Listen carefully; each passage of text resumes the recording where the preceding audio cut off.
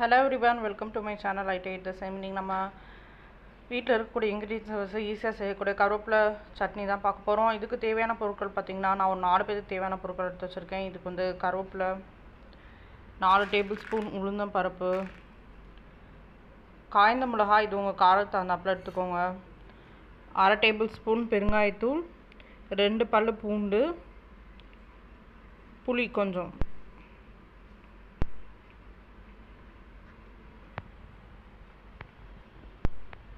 Okay இப்போ நான் காமிச்ச இன்க்ரீடியன்ஸ்லாம் இந்த கருவேப்பிலையெல்லாம் நல்லா இலையிலையாக எடுத்து வச்சாச்சு. பூண்டு அதே மாதிரி தோல் நீக்கி எடுத்து வச்சிட்டேன். புளி எலுமிச்சம்பளம் சைஸு காட்டிலும் ரொம்ப கம்மியான அளவு தான். அப்புறம் சிகப்பு மிளகார உள்ள காம்பு எடுத்து வச்சாச்சு. இப்போ எப்படி பண்ணுறதுன்னு பார்க்கலாம். ஃபஸ்ட்டு அதுக்கு நான் வந்து அடுப்பில் ஒரு கடாய் எடுத்து வச்சிட்டேன். அது நல்லா ஹீட் ஆகிட்டுருக்கு இப்போ ஹீட் ஆனதுக்கப்புறம் ரெண்டு டேபிள் ஸ்பூன் எண்ணெய் ஆட் பண்ணிக்கலாம். இப்போ எண்ணெய் ஆட் பண்ணிட்டேன்.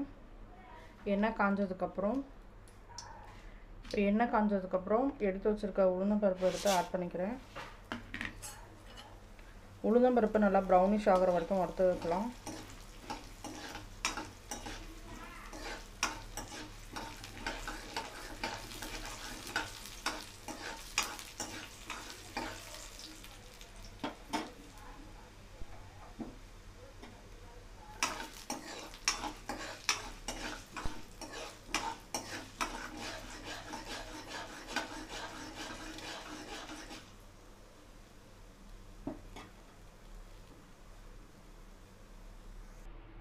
இப்போ நம்ம போட்ட உளுந்து வந்து நல்லா ப்ரௌனிஷ் ஆயிடுச்சு. ப்ரௌனிஷாக நல்லா வறுத்தாச்சு. அதை எடுத்து நான் தனியாக எடுத்து வச்சுக்கிட்டேன்.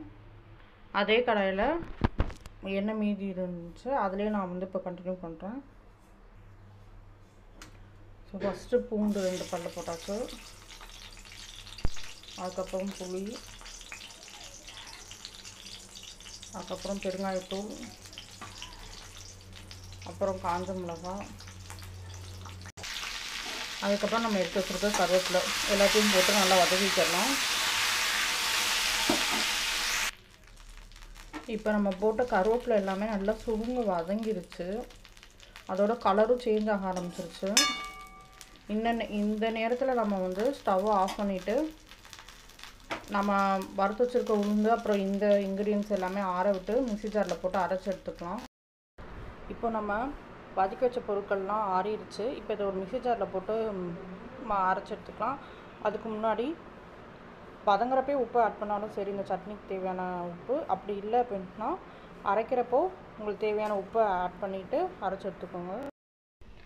இப்போது நம்மளோட கருவேப்பிலை சட்னி தயார். இன்றைக்கி நம்ம சேனலில் நம்ம வீட்டில் இருக்கக்கூடிய இன்க்ரீடியன்ஸை வச்சு ஈஸியாக செய்யக்கூடிய கருவேப்பிலை சட்னி பார்த்தோம். இதை நான் இன்றைக்கி தோசையோடு ட்ரை பண்ணி பார்த்தேன். செம்ம டேஸ்ட்டாக இருந்துச்சு.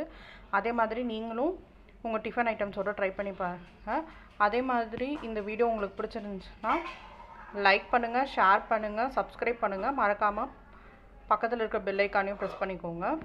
ஓகே பாய் தேங்க்யூ நம்ம நெக்ஸ்ட் ஒரு வீடியோவில் பார்ப்போம்.